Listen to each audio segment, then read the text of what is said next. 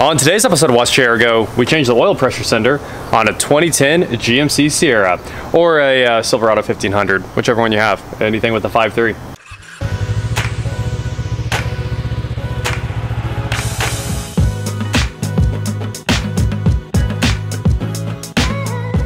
What is going on guys? I'm Watch Go and today we're here with this 2010 GMC Sierra, just like I said, and we've got a new oil pressure sender here. It's the Dorman 926041 engine oil pressure sensor with filter. I'll throw a link in the description below and today we're going to uh, climb back here and change it without taking the intake off because that's the key. Uh, I've done one of these before and we definitely did not have to take the intake off. The dealership though, wants $1,200 for the job and they want to remove the intake. Maybe it's just like secret preventative maintenance. No, that's secret redonkulousness. I, I just assumed that they were like, well, the intake gaskets could have gone bad, so now we're going to change them. No. But uh, it, there's no reason to pull the intake. We're going to do it without it. We're going to show you how right now. All right, now we just have to pop this guy off. Uh, yep. There you go. So if you're looking to find this sensor, you won't. it's in the back of the engine, and usually there's a sound baffle back there that's going to completely block it from your ability to see it. So the camera shots in this are going to be kind of weird. So we're going to sneak into the engine bay right here, and oh, the magic pointer. You can kind of see it right back there right at the very there. back of the intake. Yep, right here. You need a one and one sixteenth inch socket that we had to pick up for that guy. And that's gonna have to be a deep socket. This is like the sensor socket too, isn't it? That's nice. It's a nice one. Fancy. What's this say? Do not use while engine is running. Interesting. One 3 8 swivel. Swivel. One 6 inch extension. And one ratchet. This is an overcomplicated explanation of this job. It is. it's not it's not that hard. It's just really annoying. Very awkward job. But the great thing is there are so few parts. This is literally all That's you it. need. Yeah. Now comes the fun part of folding yourself into the engine in order to access this thing. Exactly. That's probably why the techs like to remove everything that's on top first, but I happen to fit in most overhead storage bins. I so. really doubt that the dealership techs actually pull the intake. They probably just charge the flag hour rate and do the work. Gabe's going in. You're gonna have all this fun. If I'm not back in five minutes, just wait longer. I did this already, so. All your turn. Yep, yep. Yeah, there's going to be a couple harnesses here. Don't break them. Yeah, and this drive the steering column is not something you really need to put a lot of pressure on either. And again, everything here is going to be done by feel, even though you can see it. The beauty is, you don't actually have to disconnect any of those hoses. Oh yeah. If you got skinny arms anyway. Then the flashlight falls down. Right. so. Call me the Oracle. What? I, am not ordering red pills or blue pills here, man. I'm just dropping flashlights. just dropping flashlights. That's all. Okay. Nice. Got that clip off. That one actually came off pretty easily. The harness is off now already. The fuel pressure sender is back there now. It's been disconnected. Again, difficult to see. You can see it, but everything here has got to be done by feel. So you just kind of wiggle your... Uh... Yeah, I'm actually not even going to attach it right now. I'm going to wiggle this back there so you can get the swivel and the socket onto the That's right. sender. I was amazed at the commentaries and efforts that everyone else went through. Oh my goodness, man, it's ridiculous. Just get the right deep socket and a swivel. Yeah. And then work for a little bit. so you can see that six inch. Yep, all the way on. And it's already connected. Yep. Got it? Yep. Nice. So just a little bit of pressure there. There it is remove the extension and everything so I can just undo the socket by hand. And the only thing you got to be careful of is that you don't drop it. Yeah, because it, there's plenty of stuff for it to get caught up on. But oh,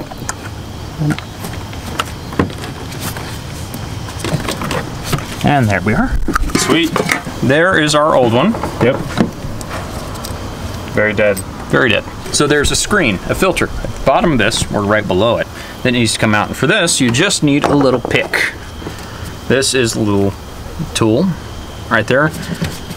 You'll place it into the orifice that you have there, and then just grasp the side below the teeth, and you'll feel it pull and tug, and then just lift up.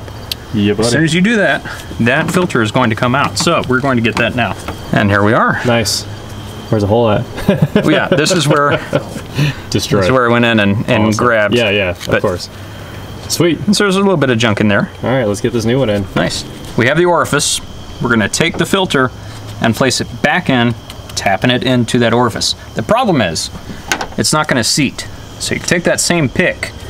With this, lightly go down those ridges that are the threads until you feel the plastic and give it just a slight little push. It'll seat and you'll feel it. So we're going to do that now. Basically, don't destroy the new filter. Yeah. Because if it slips in there, you're done. You're done. And that's in. Now we grab the new part. Hand tighten that on there. Remember reverse thread first until you feel that little click. Then you can go on and start cinching it down. Okay, that's in. And where is the socket here? For this one, I'll go ahead and reattach it. Cops are coming. You're in trouble again. Mm-hmm. Well, we already took the big truck back, so. Dude, I already told you, I'm I got 'em papered, okay? All right, so now we got that on there hand tight. We are going to go ahead and just find that, place it back on there. It's located. Nice. You see your extension sticking out there. Where is that ratchet? Here. And it's in. So, connector, lock-in connector, and it's done. Pretty much. Uh, leave the socket behind. Yeah, no sockets left behind. That's on. Sweet. And now, Where's the old parts? There's our old parts. Toss them in the box. Get rid of all that. Oh, thanks, Kelly. when'd you get here? We believe in ourselves and we're not going to test it. Test the plastic? No, test the oil pressure sender. Oh. Same way I always do it. Put everything back and then find out I was wrong. Like it. Go, it's Swap it. American, so you can punch it and stuff. All right, we're done working on your little truck, Kelly. Good luck with that. I don't know why you have to- Whack it! But it's right back where it was. Kelly believes in fixing things with a flatter hammer. now. Basically, a Jeremy Clarkson move. That's what you're going for. There you go. The biggest hammer you can find. American version of Jeremy Clarkson. Drive You guys did this in like 30 minutes. It's not a big deal. No. it's less than that. Kelly was like, put it in four high and floor it. It's no race truck, but it'll scratch all four times. I was like, oh no. Oh, almost 40. Well, I mean, it's right where it should be. All right, Gabe, you excited to drive a 2010 GMC Sierra? Woo! Feel it. I feel Sorry, this, got to get limbered up here. I can feel know. this oil pressure coursing through my veins. I feel it. That and liquid ice. Well, we definitely got this fixed, so I don't know if there's anything else we have to do here. No. Just kind of drive it around, make sure there's no leak. Truck works perfectly. Uh, if you want to know the torque spec to tighten down the oil pressure sensor, it's 26 foot-pounds. And I'm not going to say pound-feet of torque because every mechanic in the world for the last 100 years has said foot-pounds. But for some reason in the comments, people are like, pound-feet of torque. The, the OEM manual says foot-pounds. Why, why would we pound feet of torque? I'm never going to do it. Nobody wants to pound a feet. Josh sold the Falcon. We're gonna go help him deliver that. And it's gonna magically become light outside. And while we're working on the little truck, we're gonna get this big truck out of here. It's uh, going back to Wichita Material Recovery. Thank you so much to them for helping us out with this truck. It was a blast driving it around. We're gonna de-decal it real fast. People were asking about the decals and they're like, why'd you put your decals on the side? The answer is because I have a vinyl cutter and I can get this stuff off super fast and I can also make it really fast. As we pick at it. Oh, it's coming off really well. I mean, you just, uh, it'd be nice if it was in the sun, then it would really come off nicely. That's true. The other side came off really. Really well. There we go. And the monster truck heads back. It's gonna be tough to uh, not be driving around in a monster truck.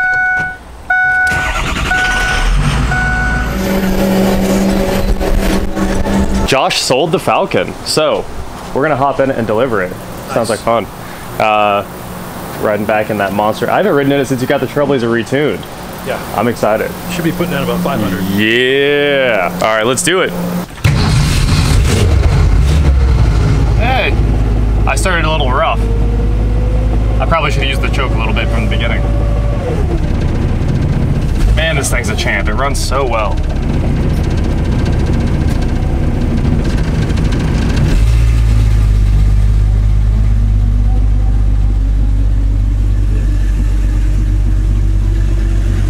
Isn't it wild to be driving a car that you can see out of the back window? That's how I feel in my Jeep.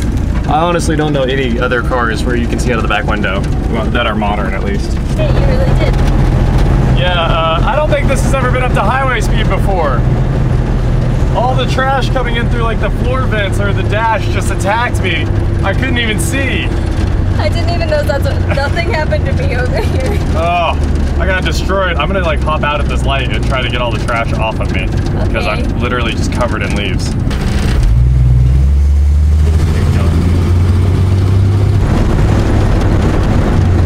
I don't think I've ever hopped in a car and just gotten destroyed by the car. Uh, maybe, maybe dust, but never by like a barrage of leaves and pine needles. All right, we're gonna hop out right now. You've got like 10 seconds. Nah, this light's gonna stay. Oh, this one's a timed one, huh? Yeah, this light stays forever. Wait, Oh. whoa. There it goes.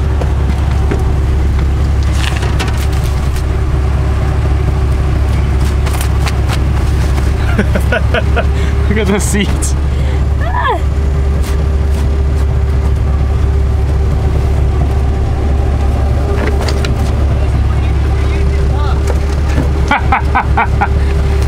This is uh, Josh's. I don't think it's ever been to highway speeds before. And like, I got up to 70, it just got crushed by like pine needles and leaves in the face. Oh, we gotta pull over just so I can try to clean off. This is, uh, I was so excited to drive this. And uh, I've never once been this covered in trash in my life. Look at that. Look at the seat. It's on, look at my foot. oh. Ah. All right, we pulled the blanket off the seat, got it all cleaned off. Now we can go again. Hopefully I can use my eyes. Come on, Safety Falcon. glasses. Oh, safety glasses would have been key, or even just sunglasses. I think we got all the trash out of the car. You're welcome, new owner.